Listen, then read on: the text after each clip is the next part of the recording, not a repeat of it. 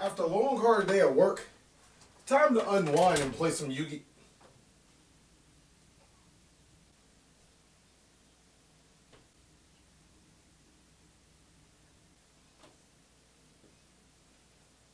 Chucky, what is that? Oh, this?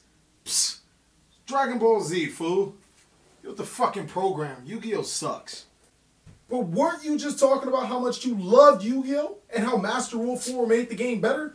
I mean, call me stupid, but just yesterday you were buying booster boxes. Man, that was yesterday. This is now. Bro, you won't even believe how cheap these cards and look, I traded in all of my Yu-Gi-Oh cards and I picked up this cool deck. I mean, bro, you gotta get into this game. It's way better than Yu-Gi-Oh! It has so many features that are just like, man, I'm telling you, you don't even play with life points anymore. You're telling me you traded in your entire Yu-Gi-Oh collection to pick up a Dragon Ball Super. You know, I'm not even to get into that. Let me guess. This game has either using cards as your life points so you don't got to keep in track like Pokemon or and it also has some type of resources that your cards also can be like Magic or Pokemon. And it also has other mechanics from various other card games which makes it more appealing to play this card game because it's like every card game except it doesn't have the intricacies of the said card game. Yeah, how, how'd you know? Th- This game is like, like Magic, Yu-Gi-Oh, Pokemon, like all in one, except better because you don't have to worry about hand traps or, or you know, you know, same stale meta decks. You know what's the real problem with Yu-Gi-Oh? The real problem with Yu-Gi-Oh is that there's always one deck dominating the format, and nobody really likes that. Everybody likes diversity, and that's what Dragon Ball Super brings to the game. It's so much diversity. You know Dragon Ball Super is in its infancy, right? And even still there were like Bionic Frieza dominating the top tables at one point in time.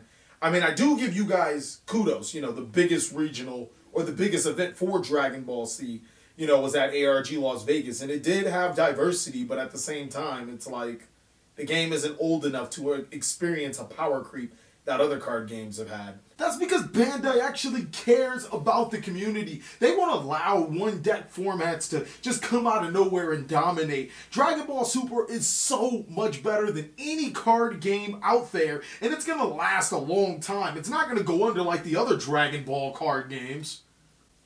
And you forget that Yu-Gi-Oh has, I don't know, a 15 year track record in the North America. I mean, it's not going anywhere. It's a card game that has been around and probably will be around for as long as Magic has been around.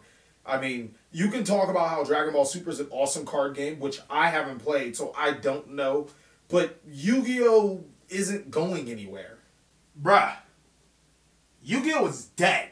No, it's not. Yes, it is. No, it's not. Yes, it is. No, it's not. Yes, it is. La la la la la la la la la la. Yes, yes, yes, yes, yes, yes, yes, it is, it is, it is, it is, it is, it is. It's fucking dead. Okay. Give me one, you know, give me three good reasons why I should even consider Dragon Ball Z. Bruh. Cheap, competitive decks. Bruh. Prize support. Bruh. Nostalgia. Bruh. Okay. We're gonna play. One week later. Oh man. I'm so happy I gave up Yu-Gi-Oh! Dragon Ball Super in it. What the fuck are you doing? Yeah, bro, we're done with Dragon Ball Super. I mean, Yu-Gi-Oh's where it's at. I mean, what, what was I thinking? No, nigga. Shoot the fade. What, what do you, what do you, what do you mean? I, I just- your Dragon Ball Z deck now. Now. I, I don't, I give a fuck. I Get it now. No more Yu-Gi-Oh. Dragon Ball Super. Don't. Kamehameha!